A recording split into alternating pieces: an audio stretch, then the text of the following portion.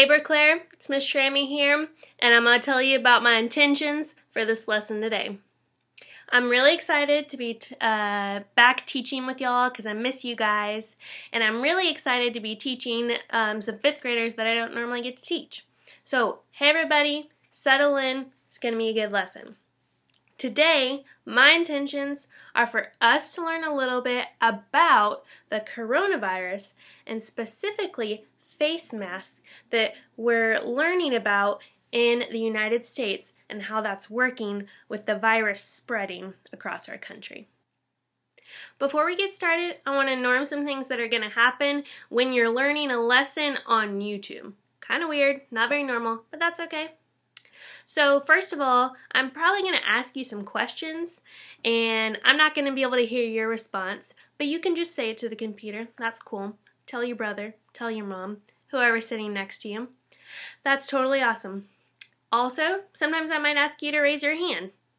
Even though there's no one else in the room, just raise your hand. It'll make you feel good like you're participating and like you're back in school. Other things, I'm going to ask you to comment on the YouTube comments at the bottom of this page. When I do that, I'm going to put this sign up. That's how you know to write in the comments underneath this video. If you need to pause the video so that you have time to finish writing your comments, that's totally cool. Just pause it and then play when you're done writing. Other things to remember is um, to just pay attention. You can always rewind the video if you are, um, like if you didn't understand something or if you want to understand it better. Um, you can always pause it if you need to stop and go to the restroom or anything like that. Um, feel free to pause and rewind as you need. Now, here's an example of something we're going to be talking about today after we read our article. Pay close attention to what I'm doing.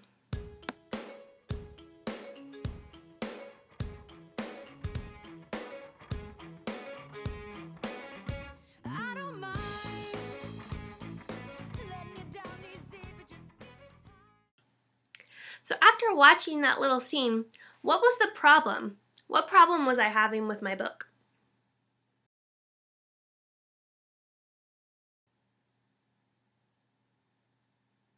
Yeah, I wasn't able to close my book because I didn't have a bookmark. I didn't know what to do. So I had an idea. I came up with a solution. What was my solution? What did I do in the video?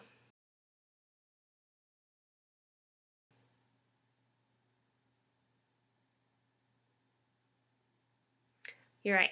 The solution was I went and I made a bookmark so that when I was reading and I needed to stop, I can just put my bookmark in the book and I could close it and I could come back to it later.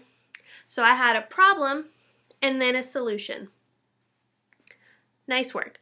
We are going to be reading about problems and solutions in our article today about masks for the coronavirus. So I want you to pay special attention to what problem might be happening while we're reading.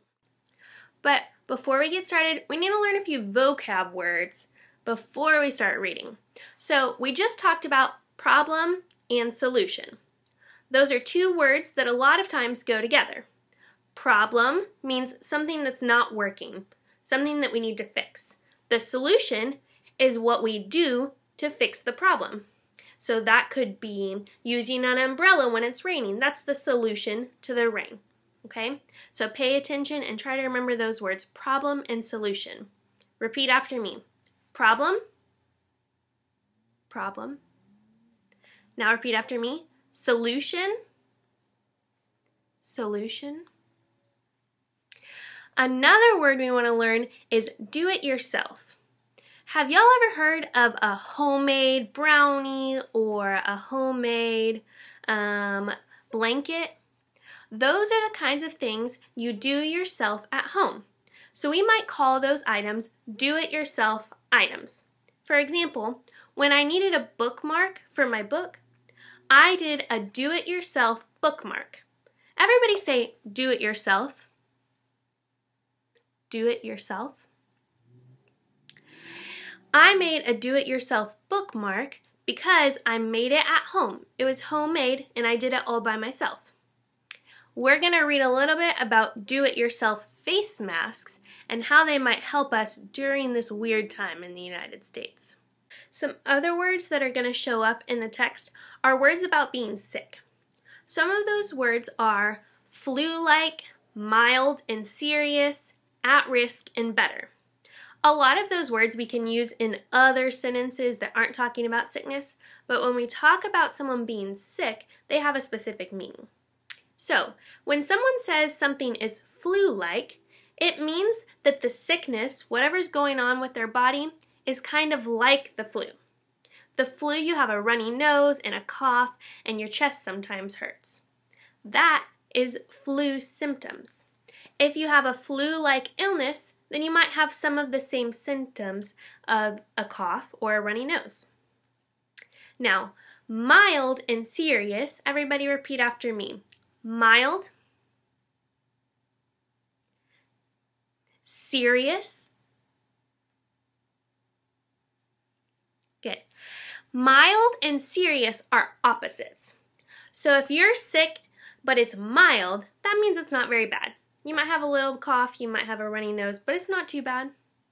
If it's serious, then that means you're very sick. It might mean you have to go to the hospital or people have to be taking care of you at all times during the day because you're very sick. If you're serious sick, if you're seriously sick. One last thing before we read our article. They're going to talk about some places in the article, and I want you to have a little bit of an idea of what they're going to talk about. So, here's the whole world. Let's see. Right here, that's the United States of America. That's where we all live. There's Mexico over here. There's Yemen. And down here is Honduras. But we live now in the United States of America. In the United States of America, we have 50 states. Those states are right up here on my wall. This is 48 of the states, and then Alaska and Hawaii are kind of by themselves, like little, um, Hawaii is islands that are separate, and Alaska is connected to Canada. Some of the states that they're going to talk about in our article are Texas, which is down here. Here's Tennessee, that's where we live. They're also going to talk about South Carolina, New Hampshire,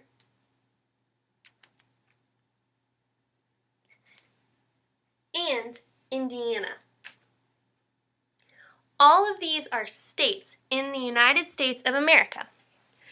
And when we talk about states, they're all a part of the United States, but they also have some differences between them. So we'll learn a little bit more about what differences are going on in the different states right now during coronavirus. Now we're going to read our article. While we're reading, I want you to be listening to try to understand the gist of the article, and I have a special task for you. Are you ready? I want you to count the number of times you hear the word mask. When you hear the word mask, put up one finger. When you hear it again, put up two. Count on your fingers how many times you hear the word mask. This article is called Volunteers Sew Face Masks for Healthcare Workers Facing Shortages.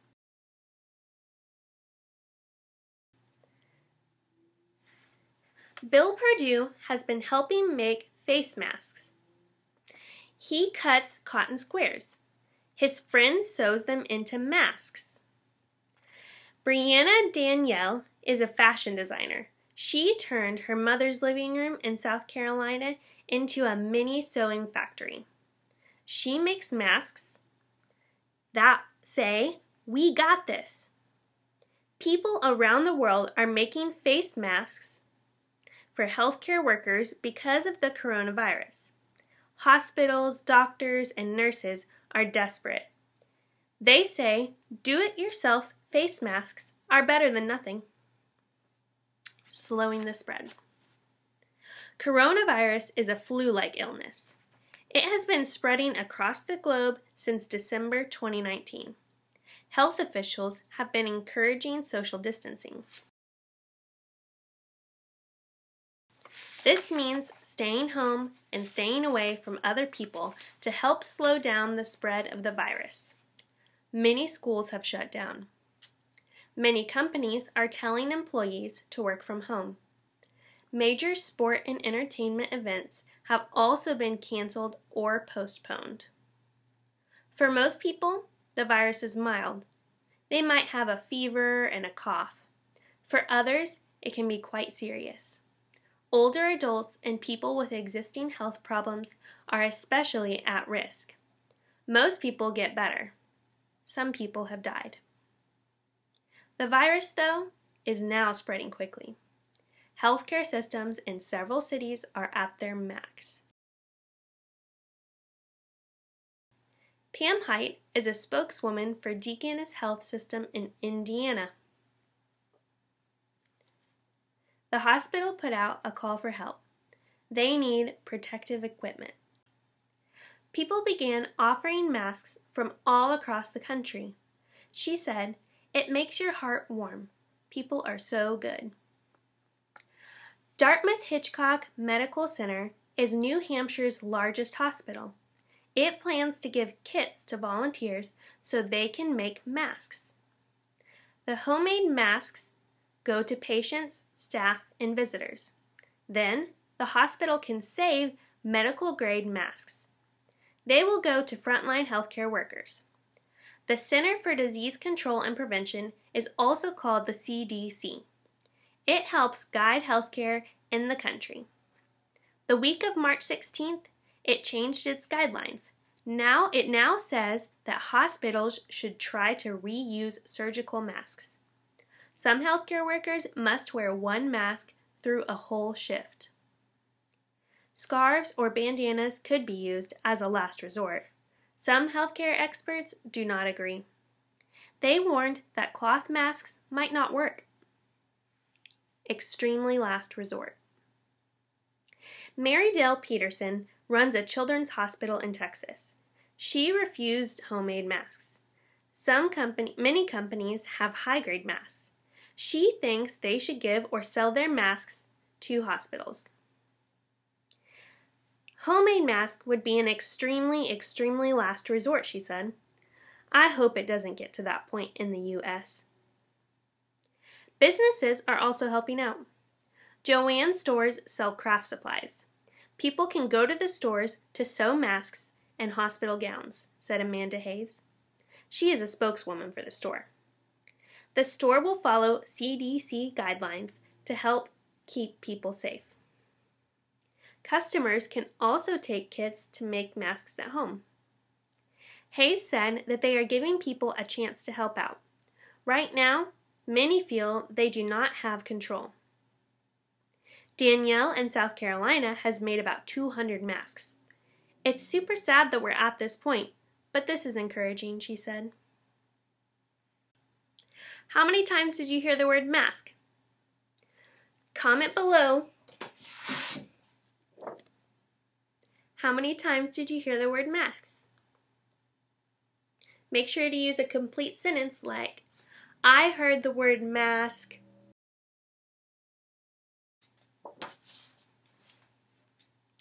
Alright, now we're going to read the story again but this time, I'm going to stop in the middle sometimes to ask you some questions. Volunteers sew face masks for healthcare workers facing shortages. Bill Perdue has been helping make face masks. He cuts cotton squares. His friend sews them into masks. Brianna Daniele is a fashion designer. She turned her mother's living room in South Carolina into a mini sewing factory. She makes masks that say, We got this. Do the masks actually speak out loud and say, We got this? No, they don't say anything, but Brianna is sewing words onto the masks so when you read them, they say, We got this. Let's keep reading. People around the world are making face masks for healthcare workers because of the coronavirus. Hospitals, doctors, and nurses are desperate. They say do it yourself face masks are better than nothing. So, are do it yourself face masks the best kind of face masks?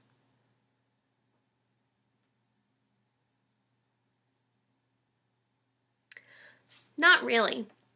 The text says that do it yourself face masks are better than nothing. So that means they're better than not having a mask at all. But the professionals, they make the best face masks. Let's keep reading. Slowing the spread. Coronavirus is a flu like illness. It has been spreading across the globe since December 2019. Health officials have been encouraging social distancing. This means staying home and staying away from other people to help slow the spread of the virus. Many schools shut down. Many companies are telling employees to work from home. Major sport and entertainment events have also been canceled or postponed. What is the problem in the world that those sentences are describing? What is the problem in the world that those sentences are describing?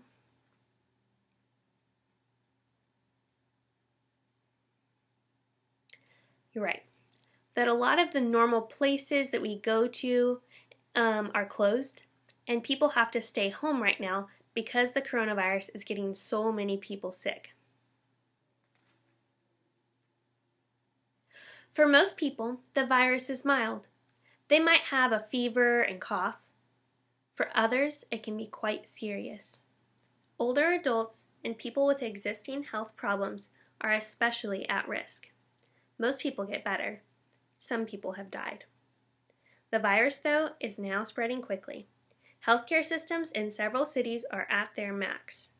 Pam Height is the spokeswoman for Deaconess Health System in Indiana. The hospital put out a call for help. They need protective equipment. What did Pam say the hospital needs? Exactly. Protective equipment. The hospital needs protective equipment to keep doctors safe from people who are sick.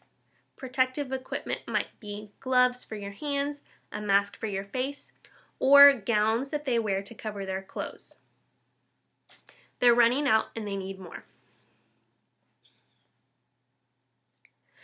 People began offering masks from all across the country. She said, It makes your heart warm. People are so good. Dartmouth Hitchcock Medical Center is New Hampshire's largest hospital. It plans to give kits to volunteers so they can make masks. The homemade masks can go to patients, staff, and visitors.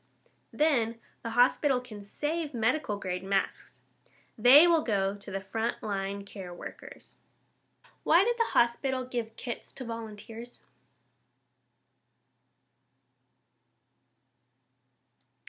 They gave kits to volunteers so that they can go home and make masks to bring back to the hospital to donate. The Center for Disease Control and Prevention is also called the CDC. It helps guide healthcare in the country. The week of March 16th, it changed its guidelines. It now says that hospitals should try to reuse surgical masks. Some healthcare workers must wear one mask through a whole shift. Scarves or bandanas could be used as a last resort. Some healthcare experts do not agree. They warned that cloth masks might not work. What did the CDC change?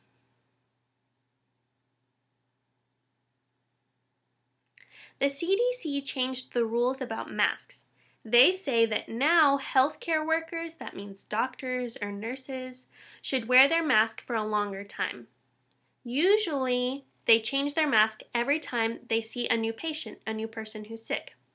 But now they, the CDC says they should keep wearing the mask even when they go to a new person. Why might this be a little bit unsafe? Why might it be bad?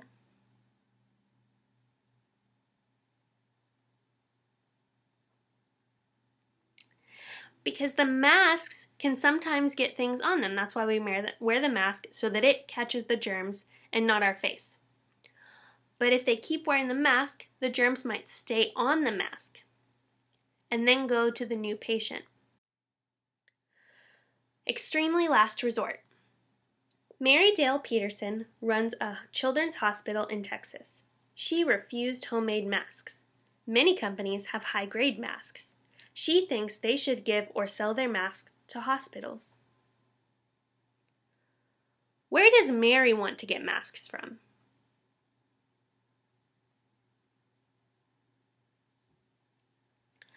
Mary wants to get masks from companies that make high grade masks. Those masks are the best masks. They're not homemade ones, they're not do it yourself. They're the best masks in the business, and they should be used for doctors and nurses. She thinks those companies that make them should give them to the hospital or sell them to the hospital. Homemade masks would be an extremely, extremely last resort, she said. I hope it doesn't get to that point in the U.S. Businesses are also helping out. Joann stores sell craft supplies. People can go to the stores to sew masks and hospital gowns, said Amanda Hayes. She is a spokeswoman for the store. The store will follow CDC guidelines to keep people safe. Customers can also take kits to make masks at home. Hayes said that they are giving people a chance to help out. Right now, many feel that they don't have control. How are people helping out?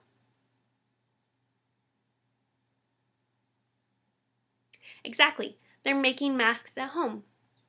All right, here's the last sentence. Danielle in South Carolina has made about 200 masks. It's super sad that we're at this point, but this is encouraging. All right, so this article talks a lot about people making masks. Why are they making masks? What problem are they trying to solve?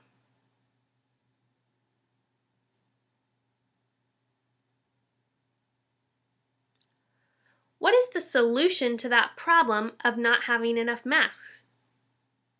What are people doing to help?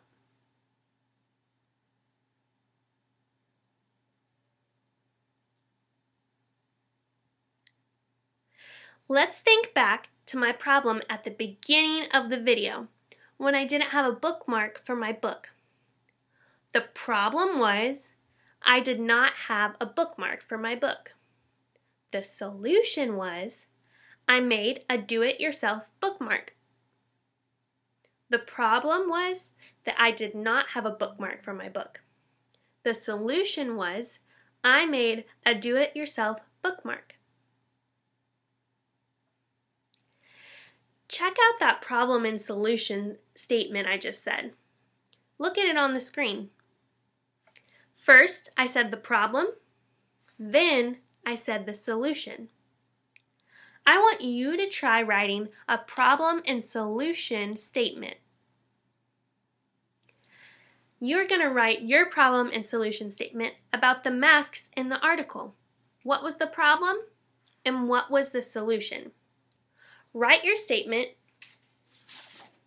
in the comments below. If you need to, use these sentence stems to write your statement.